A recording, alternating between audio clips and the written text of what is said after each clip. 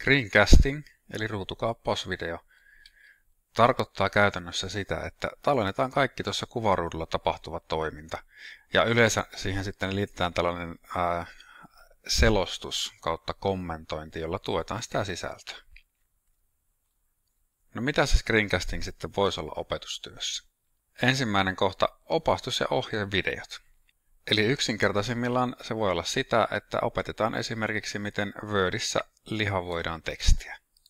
Toki se voi olla jotakin paljon monimutkaisempaa, kuten videoeditoinnissa mennään ja näytetään millä tavalla eri raidat toimii, miten ääniä voi editoida, miten me voidaan vaikka videoklipistä napsauttaa keskeltä palanen pois. Näin ikään. Toinen hyvä kohde Screencastin käytölle on oppimistehtävien ohjaamisessa ja palautteen antamisessa.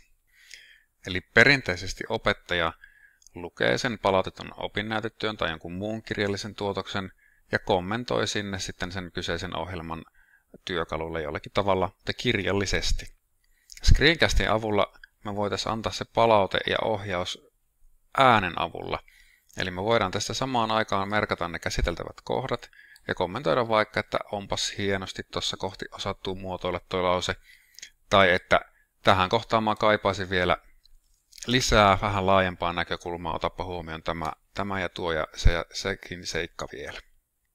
Ja ihan samalla tavalla me voitaisiin tätä ohjausta kautta palautetta antaa esimerkiksi Excelin laskutehtävissä.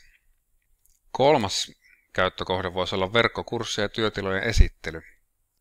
Eli tässä on yksi esimerkki pyörittämältäni verkkokurssilta, missä on tällainen tervetulias-video, missä ensin puhun niin, että naama näkyy pelkästään ja sitten esittelen siinä siis itseni, esittelen mikä on kurssin idea ja sitten sen perään olen esitellyt tämän Optima-työtilan ja sen sisäisen käyttölogiikan.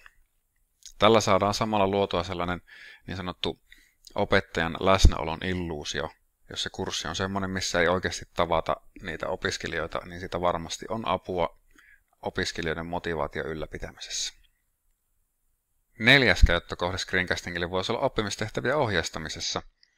Siinäkään en lähtisi pelkästään suullisesti antamaan sitä ohjetta, vaan olisi perinteinen strukturoitu tehtävänanto, jota voitaisiin sitten suusanallisesti täydentää, kertoa niistä kohdista tarkemmin, että mitä ne tarkoittaa. Tässä on yksi tapa jäsentää se tehtäväanto, eli sieltä löytyy tarkoitustavoite, toiminta, palautusaika ja tehtävän palauttaminen.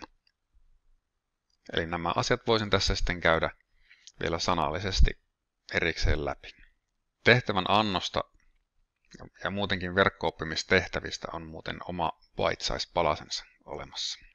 Ja toki sitten screencastingia voi käyttää tällaiseen perinteiseen luennoimiseen, eli meillä on vaikka ne PowerPoint-tiat, josta löytyy ne PowerPointit, tukisanat, joita me sitten tässä suusanallisesti avataan. Eli tehdään juuri tätä, mitä minä tälläkin hetkellä tässä teen.